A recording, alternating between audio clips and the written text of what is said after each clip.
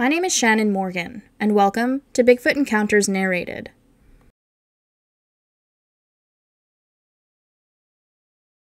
In March 1851, in Greene County, Arkansas, Mr. Hamilton and another hunter in Arkansas saw a herd of cows being chased by a gigantic animal whose body was covered with hair and resembled a wild man. The head had long locks that enveloped the neck and shoulders, and the man beast looked at the witnesses before deliberately turning away and sprinting off at great speed. Sometimes it would leap 12 to 14 feet at a time, impossible for a human or a bear. It seems that this one was no vegetarian. The creature had been reported in this area for the previous 17 years. An early report of the incident wrote During March last, Mr. Hamilton of Greene County was out hunting with an acquaintance, and he observed a drove of cattle in a state of apparent alarm, evidently pursued by some dreaded enemy. Halting for the purpose, they soon discovered, as the animals fled by them, that they were followed by an animal bearing the unmistakable likeness of humanity. He was of gigantic stature, with the body being covered with hair and the head with long locks that fairly enveloped his neck and shoulders. The wild man, for we must so call him, after looking at them deliberately for a short time, turned and ran away with great speed, leaping from 12 to 14 feet at a time. His footprints measured 13 inches each. This singular creature has been known traditionally in St. Francis, Greene, and Poinsett counties. Arkansas sportsman and hunter having described him as long as 17 years since.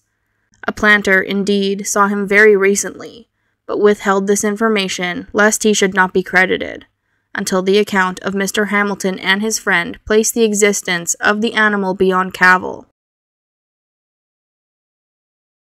In spring 1920, in Logan County, Arkansas, there are only logging trails and a Forest Service road on White Oak Mountain. A hairy, man like creature was after my great grandfather's horse. The horse was trying to pull away from the tree that he was tied to.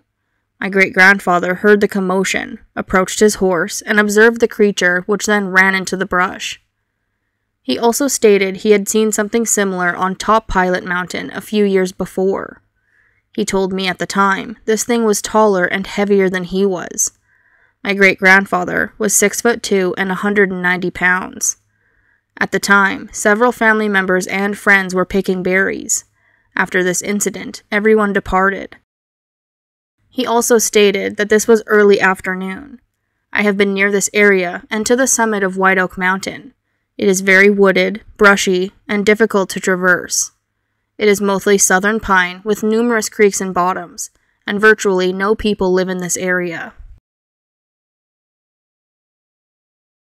In fall 1943, in Lonoke County, Arkansas, I don't remember the name of the little town where we stopped so the driver could report it, but he said we would be in Little Rock in about 45 or more minutes.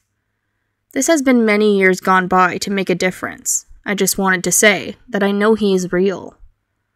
I was six at the time, and my family was on a bus coming from West Memphis, Arkansas to Fort Smith. My sister and I were in the back of the bus on the long seat so that we could sleep. The bus driver stopped the bus to use the woods. He jumped back in the bus and said, Hold on, everybody. There is a big ape out there that almost got me. As the bus started to move, my sister and I looked out the back window and saw what I believed to be a Bigfoot crossing the road. At the time, I didn't know about Bigfoot, so I thought it was an ape that had escaped from a carnival.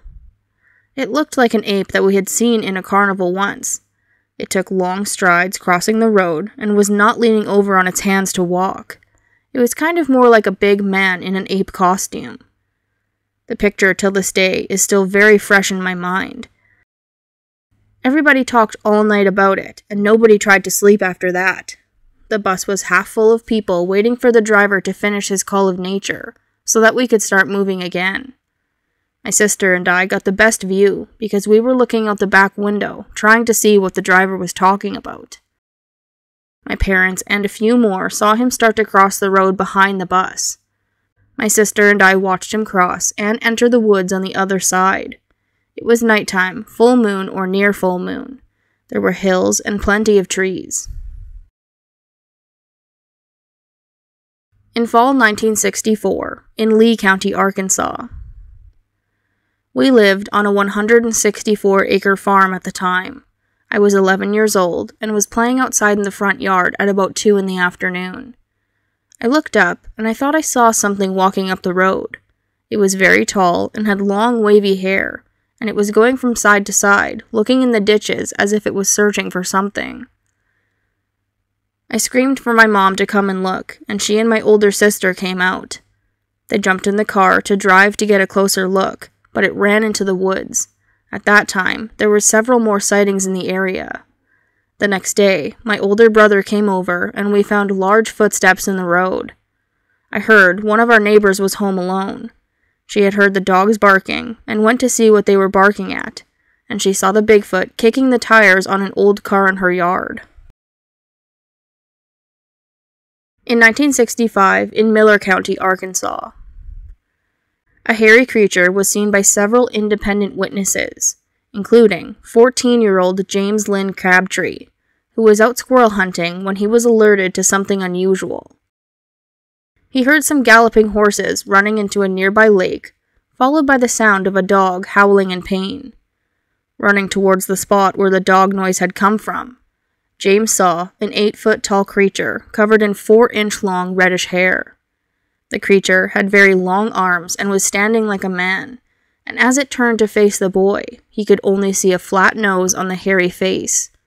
The creature advanced towards James, and he was totally scared and shot it three times in the face with a shotgun. The advancing creature did not hesitate, but James decided to flee and run off.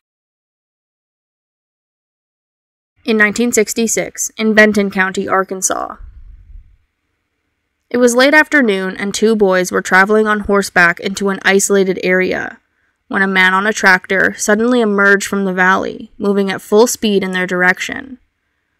The man was extremely agitated and told them to leave the area, that a monster was living in the bottom. He had only seen it moments before. The two boys, unafraid, decided to investigate as the farmer drove away.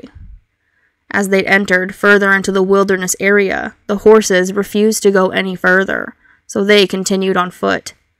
A few minutes later, they found themselves in a gorgeous mountain meadow, lush with flowers and sweet smelling grass. One of the boys then noticed what appeared to be clumps of white fur lying near the trunk of an old tree.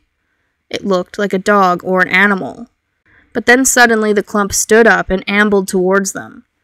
The creature was nearly nine feet tall and almost completely covered with thick, snow white fur. When the skin was exposed, it was a strange pinkish color. Its face and posture was very human like, and it also emitted a very powerful odor. It made a sound like a radio signal as it approached the two boys. They fled the area immediately, and a posse was formed to hunt the creature down, but it was never found. Dead and mutilated cows were found in the area, and also a human corpse, missing its limbs from its battered torso.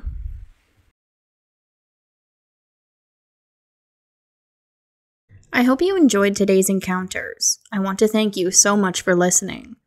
It would mean a lot to me if you could like and comment on this video, or even share it with your friends. We now have Bigfoot Encounters narrated merchandise. The link to the store is in the description of this video and on my YouTube channel page.